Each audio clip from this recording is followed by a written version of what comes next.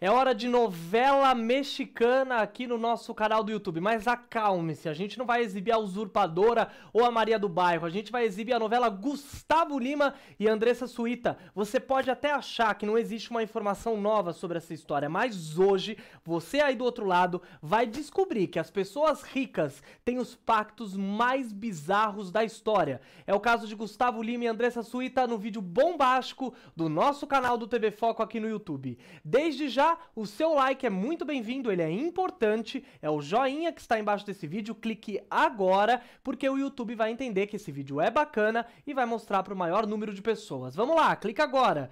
Também deixa o seu comentário, porque se você acha que a história dessa separação de Gustavo Lima e Andressa Suíta terminou, você está enganado.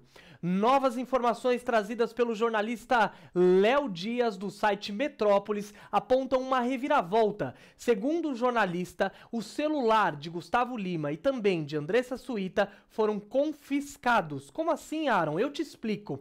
O jornalista explica que existia um contrato entre os dois uh, pombinhos, né? O Gustavo Lima, que pediu o final do casamento, e Andressa Suíta, a modelo, que tem dois filhos com ele. Nesse contrato, contrato existia um pacto pré-nupcial que dizia que aquele que é, tivesse uma traição, aquele que provocasse uma traição no casamento, teria que pagar uma multa. A multa não teve os valores revelados, mas também, gente, com a queda desse pacto pré-nupcial, Andressa Suíta, que abriu mão dos bens no momento, da no momento do casamento, poderá ter acesso a mais de 140 milhões dos bens que dizem que Gustavo Lima acumulou ao longo dos últimos anos. Segundo o jornalista Léo Dias, os advogados de Andressa Suíta e Gustavo Lima Lima confiscaram o celular de ambos e vão fazer uma análise profunda, tanto nas redes sociais como em fotos, para entender e verificar se existe alguma possibilidade ou prova de traição no meio dessa separação que parou o Brasil nos últimos tempos.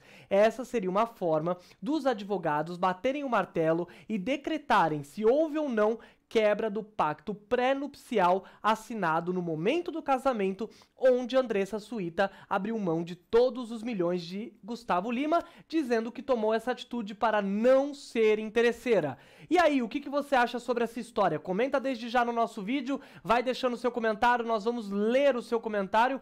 Deixa o seu like também neste vídeo, porque a gente quer saber, existe essa história mesmo? Ou isso aí é um pouco distorcido aí? Olha, o Léo Dias, pessoal, que que é o jornalista, desde o momento dessa separação, ele tem trazido as informações em primeira mão sobre essa, esse fim de casamento. Muita gente até hoje não conseguiu entender por que, que Gustavo Lima pediu o fim de um casamento de cinco anos, no qual ele tem dois filhos e no qual ele se mostrava muito apaixonado, sendo que não houve nenhuma briga como ele garante. Do lado de Andressa Suíta, ela tentou tocar a vida. Tá ganhando os milhões dela, pintou o cabelo de preto lá, ganhou quase 600 pila, falou que tá feliz, claro, não vai falar falar mal da marca na qual ela pintou o cabelo, mas é fato que a Andressa Suíta também estaria tentando provar na justiça que houve traição por parte do ex-marido e que, por sinal, ela tem direito ao dinheiro dele. Agora, eis aí pra justiça bater o martelo e definir, mas é coisa de gente rica, né, gente? Quanto que pobre vai ter um pacto pré-nupcial para confiscar o celular um do outro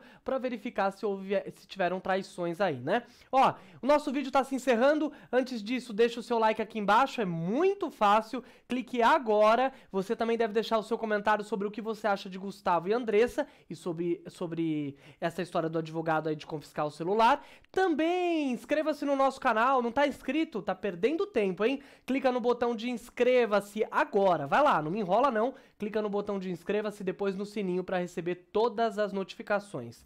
Acesse o nosso site otvfoco.com.br é o endereço onde tem mais informações dessa novela, audiências, novelas e os babados dos famosos. Um beijo e até a próxima, tchau!